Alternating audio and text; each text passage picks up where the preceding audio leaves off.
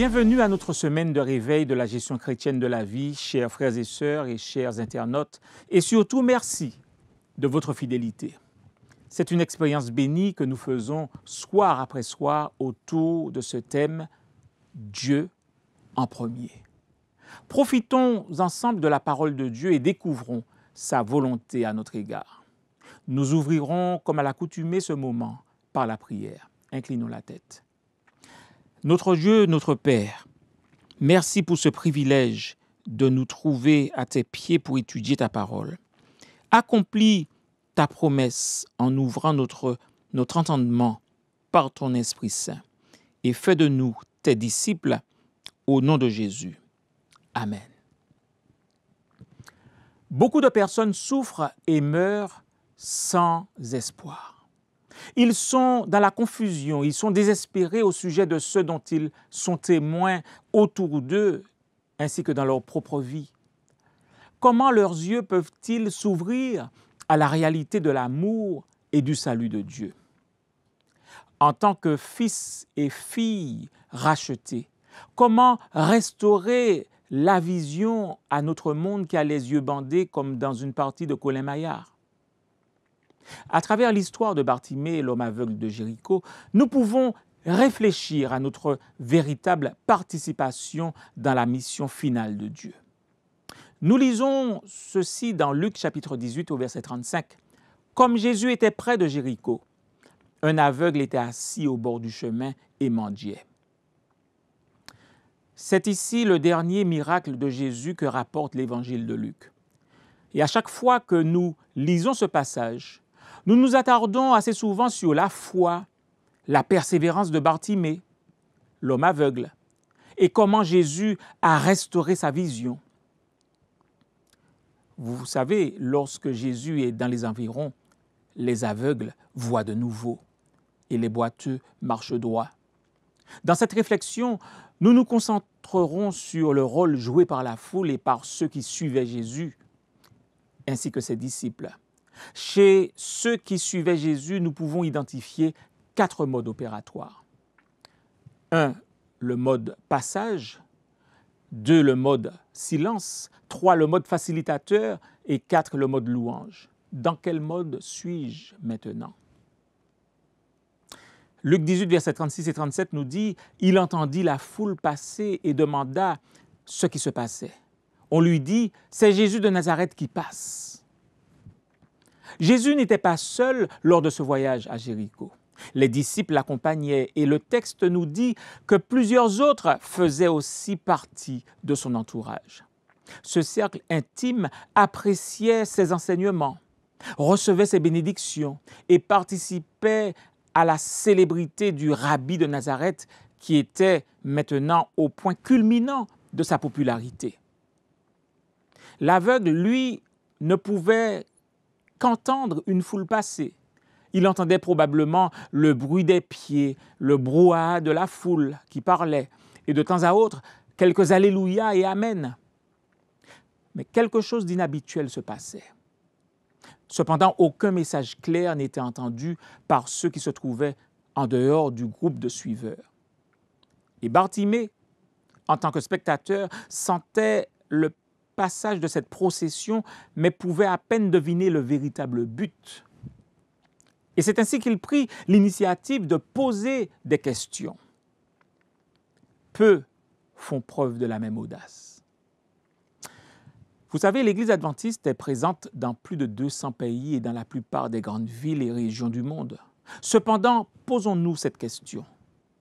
Donnons-nous un message clair au sujet au sujet du but de notre existence? Les gens comprennent-ils clairement notre mission? La réponse que donnent ceux qui suivent Jésus révèle un état d'esprit intéressant. Lorsqu'ils disent à euh, Bartimée, Jésus de Nazareth passe. Ils étaient précis et avaient une connaissance des faits en parlant de l'histoire de Jésus, sans pour autant révéler son but et sa mission. Et là, malheureusement, c'était une occasion ratée d'inviter Bartimée à faire partie de la multitude. Quelle pouvait être la raison de cela? Eh bien, c'est parce qu'ils voyaient en Bartimée simplement un mendiant aveugle. Ce dont, ils avaient, ce dont il avait probablement besoin était peut-être une pièce, un euro, un morceau de pain ou autre charité. Il ne sentait pas l'envie qu'avait Bartimée de quelque chose de plus profond. Cependant, la réponse de Bartimée indique un besoin authentique. Lorsque nous l'entendons dire Jésus, fils de David, aie pitié de moi. Pour lui, Jésus était le fils de David. Le titre fils de David était une salutation messianique et Joseph euh, Flavius, l'historien juif, nous dit que dans le judaïsme, on croyait que le fils de David avait un grand pouvoir de guérison. Et Bartimée ne cherchait pas une information au sujet de Jésus, mais une intervention de Jésus dans sa vie.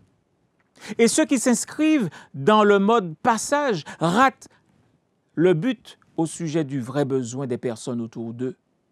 Ce serait malheureux que nous nous contentions de dire aux gens qui sont les adventistes et que croient-ils et de pourvoir à quelques besoins élémentaires lorsque ces mêmes personnes cherchent un sauveur et une nouvelle vision. Et puis il y a le mode silence, et plus précisément réduire au silence. En effet, en réaction au cri de SOS de Bartimée, quelques disciples de Jésus adoptèrent ce mode. Nous lisons au verset 39 du chapitre 18 ceci. Ceux qui marchaient devant le reprenaient pour le faire taire. Et là, nous sommes en plein mode réduire au silence. Quelques versions emploient même le mot réprimander pour décrire l'intervention de ces meneurs. Ils s'étaient engagés dans ce mode réduire au silence parce qu'ils avaient mal compris leur responsabilité ainsi que le rôle de Jésus.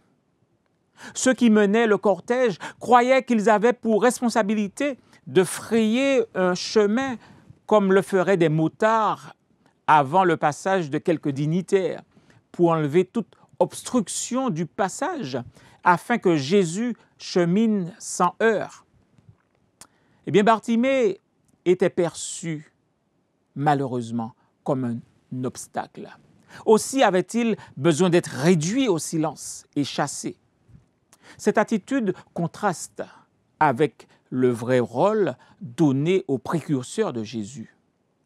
Jean le Baptiste était un précurseur de Jésus. Et Luc, dans son premier chapitre, versets 16 et 17, décrit le rôle qu'il avait. Voilà ce qu'il est dit. Il ramènera beaucoup d'Israélites au Seigneur, leur Dieu. Il marchera devant Dieu avec l'esprit et la puissance d'Élie pour ramener le cœur des pères vers leurs enfants et les rebelles à la sagesse des justes, afin de préparer pour le Seigneur un peuple bien disposé. Chers amis, Jean devait agir comme un pont reliant le peuple et Jésus, et non pour chasser les gens, mais pour les préparer à rencontrer Jésus.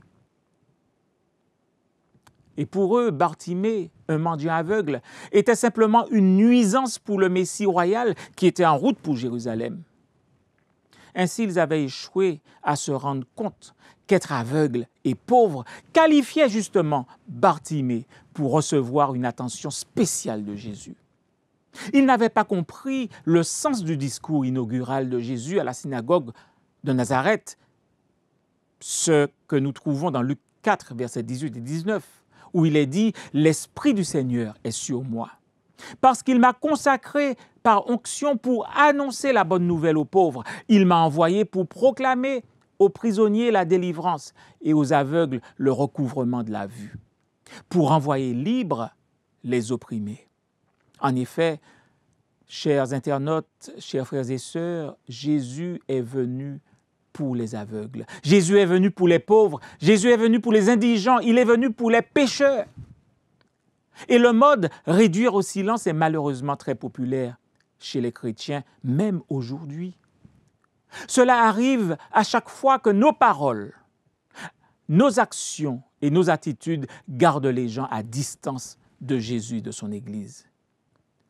Or, à chaque fois que nous disqualifions quelqu'un mentalement ou concrètement du salut, nous fonctionnons dans le mode réduire au silence. Et que Dieu nous en préserve. Par contre, il y a un autre mode, le mode facilitateur. Étant conscient des réactions de ceux qui le suivaient, la Bible dit au verset 40, Jésus s'arrêta et ordonna qu'on le lui amène. Jésus ordonna un changement de mode. Des modes passage ou réduire au silence, il les fait passer au mode facilitateur. Ce n'était pas une suggestion, chers amis, mais un ordre. Et dans cet ordre se trouvait une invitation à partager les bénédictions avec les autres. Ceux qui sont en mode facilitateur ne constituent pas la source de la bénédiction. Leur rôle était d'être un canal, un conduit menant à la source, qui est Jésus. Cependant, pour que leur rôle reste significatif, ils devaient s'approcher de Bartimée, partager l'invitation de Jésus, le tenir par le bras, guider ses pas, dégager la foule de son chemin et l'amener à Jésus. C'était un processus complexe. Et dans l'esprit de prophétie, plus précisément Témoignage pour l'Église, volume 7, page 138, nous entendons une instruction similaire pour son Église des derniers temps. Voilà ce qu'il est dit. Dieu a choisi les adventistes du septième jour comme son peuple séparé du monde. Il a fait d'eux ses représentants et les a appelés à être ses ambassadeurs dans la dernière œuvre du salut. La plus grande richesse de vérité jamais confiée aux mortels, les avertissements les plus solennels et effrayants jamais envoyés par Dieu à l'homme leur ont été confiés pour qu'il les donne au monde. Oh chers amis, le Covid-19 est venu sur notre route. Nous parlons de la nouvelle normalité, mais notre première et plus grande responsabilité, qui est de conduire des gens à Jésus à son Église, n'a pas changé. Cela a encore plus d'importance maintenant qu'avant. Et chers amis, sommes-nous en train de confondre distanciation sociale et retrait de la ligne de front de la mission? Voyons le dernier mode qui est le mode louange. L'engagement dans le mode facilitateur a pour conséquence que ceux qui suivent Jésus passeront au mode louer ensemble. Voilà ce que nous lisons au verset 43 de Luc 18. Il retrouva immédiatement la vue et suivit Jésus en célébrant la gloire de Dieu.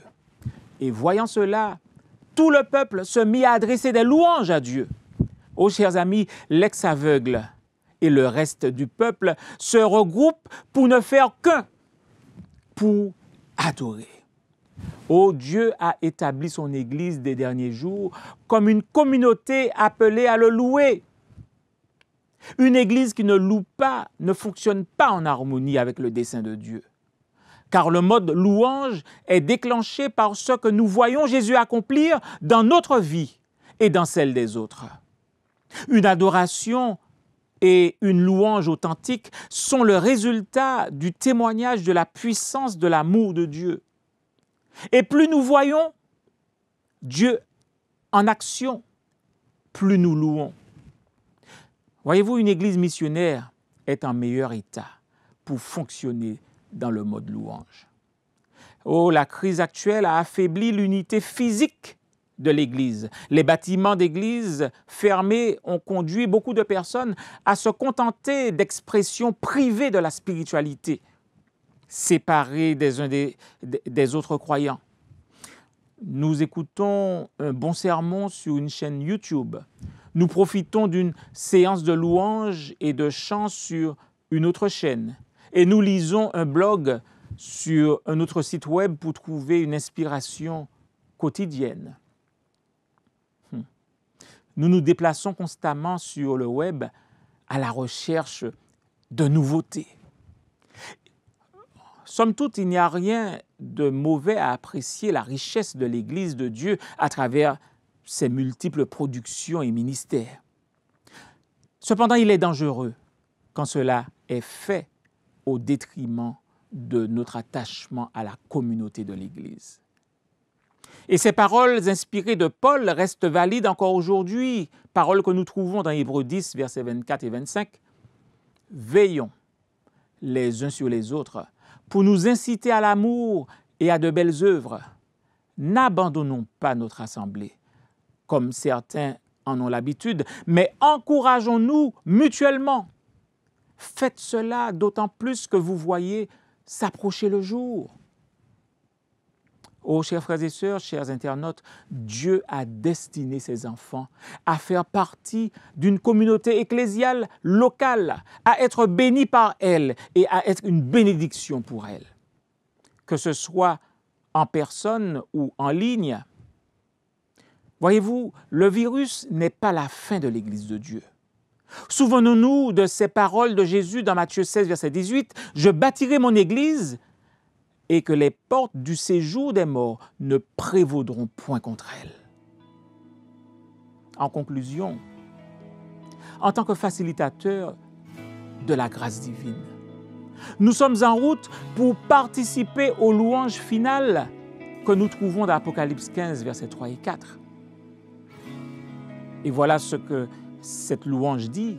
Tes œuvres sont grandes et extraordinaires, Seigneur Dieu Tout-Puissant. Tes voies sont justes et véritables, roi des nations. Qui pourrait ne pas te craindre, Seigneur, et rendre gloire à ton nom? Oui, toi seul, tu es saint. Et toutes les nations viendront t'adorer parce que tes actes de justice ont été révélés. Chers frères et sœurs, chers amis internautes, choisissons de ne pas rester dans les modes passage ou réduire au silence. Ne soyons pas des pierres d'achoppement sur le chemin de ceux qui cherchent le Sauveur, mais soyons, soyons des facilitateurs, soyons des poteaux indicateurs qui montrent à tous le chemin de la maison du Père pour ensuite le louer et le bénir ensemble pour son salut, son immense grâce et la nouvelle vision qu'il veut nous accorder. Que Dieu nous bénisse. Pour aller plus loin, partagez l'expérience que vous avez vécue en aidant quelqu'un à adopter une nouvelle vision pour la vie. Comment pouvons-nous fonctionner mieux dans le mode facilitateur à cette époque de distanciation sociale? Qui aimeriez-vous amener à Jésus? Partagez son nom pour qu'on intercède pour lui ou pour elle. Ma promesse pour aujourd'hui. Seigneur, Aide-moi à consacrer du temps régulier chaque semaine à travailler pour toi en propageant la bonne nouvelle par des études de la Bible, des petits groupes et autres.